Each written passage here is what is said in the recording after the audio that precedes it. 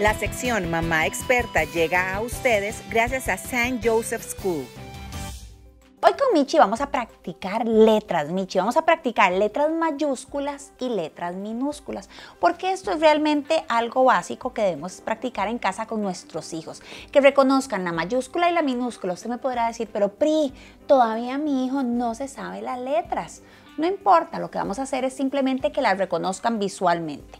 Como pueden ver, yo aquí tengo estas manzanitas. Usted no necesita hacerlo manzanita, lo puede hacer más en una hoja, pero entre más bonito, recuerde que mejor para el niño porque le va a encantar. Entonces aquí tenemos las letras minúsculas y en estas bolitas, Michi, vos tenés las suyas aquí, las mayúsculas y las vamos a poner encima de la minúscula que corresponde. Entonces vamos buscando la letra y la vamos a poner encima hasta que las tapamos todas. ¿Qué está haciendo aquí eh, Michelle?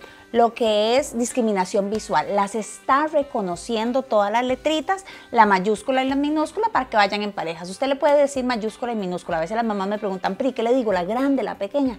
No, usemos los nombres apropiados, mayúsculas y minúsculas. Y esto es un ejercicio básico para comenzar el proceso de lectoescritura. PRI, ¿a partir de qué edad? dos años.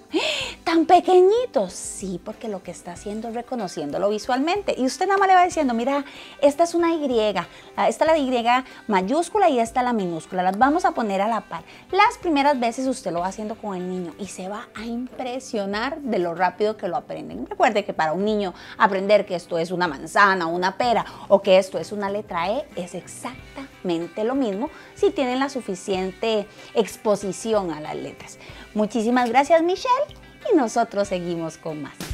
San Joseph School presentó la sección Mamá Experta